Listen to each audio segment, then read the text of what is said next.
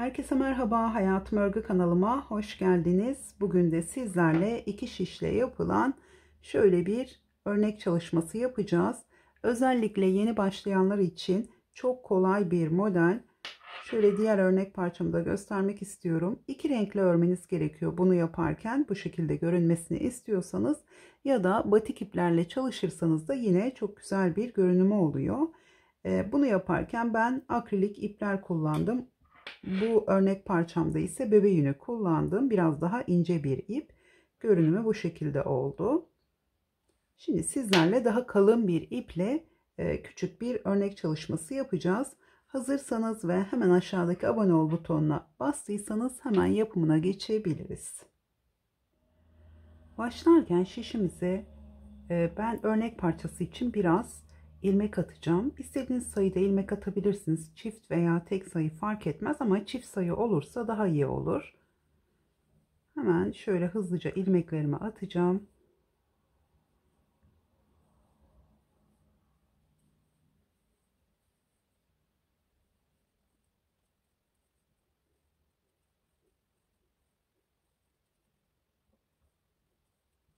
Hemen ilk ilmeğimi bu şekilde düz olarak ördüm. İkinci ilmeğimi düz, sıradaki ilmeğimi ters olarak örüyorum. Şöyle birebir lastik yapıyoruz ilk sırada. Bir düz, bir ters şeklinde sırayı tamamlayacağız.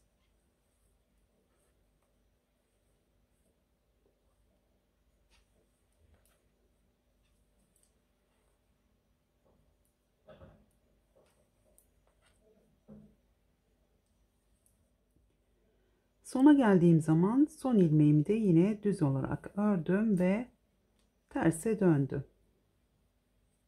İpimizi öne aldım. Hemen ilk ilmeğimi örmeden alıyorum. Ve arka yüzde bütün ilmeklerimizi ters olarak öreceğiz.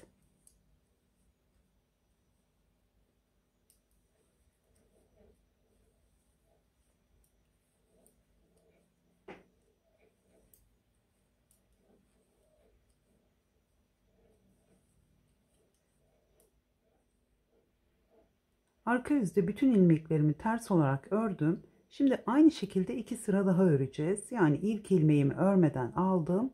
Bakın zaten düzle başlıyor. Bir düz, bir ters şeklinde yine üçüncü sırayı tamamlıyoruz.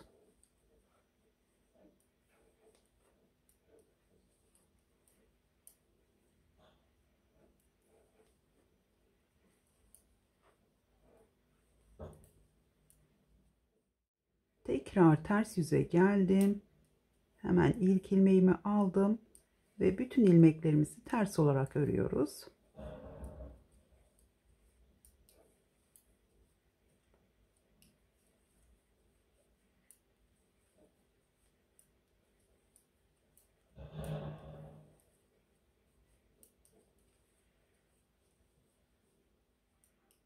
İlk 4 sırayı aynı şekilde tamamladık. Ön yüzde bir düz bir ters arka yüzde ise bütün ilmeklerimizi ters olarak ördük. Şimdi hemen şuraya e, ipimi bağlayacağım. Ve yeni rengimizle devam edeceğiz.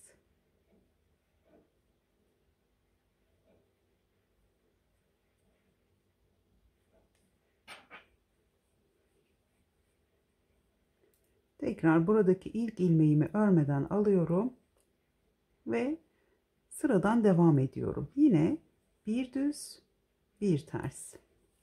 İlk ilmeğinizi her zaman düz olarak başlarsanız yani kenar ilmeğinden sonra düz olarak başlarsanız arka yüzde bütün ilmeklerinizi ters ördükten sonra ön yüzde karıştırmazsınız. Yani başlangıçta bir düz, bir ters şeklinde ilerlemeniz gerekiyor. Modelin yapımı çok kolay. İki sıranın tekrarından oluşuyor. Sadece iki renkli ördüğünüz zaman böyle farklı bir görünüm kazanıyor. Hatta e, bir ipiniz tek renk, diğer ipiniz batik ip olduğu zaman da daha güzel duruyor.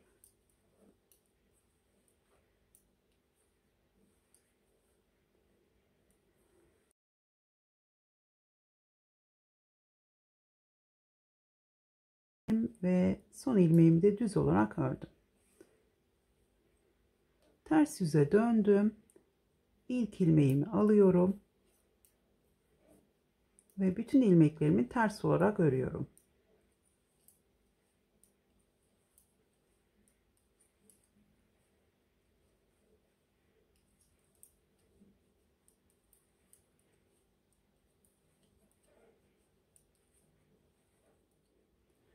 Tekrar ön yüze geldim ve yine başlangıç rengimle devam edeceğim. Şöyle ilk ilmeğimi alıyorum. Bir düz, bir ters,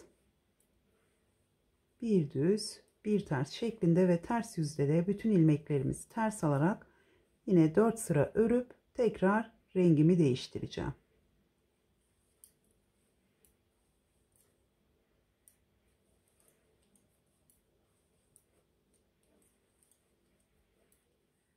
4 sırayı tamamladım. Bundan sonra 4 sıra ördükten sonra yeni rengimizle 2 sıra daha örüp tekrar aynı şekilde devam edeceğiz.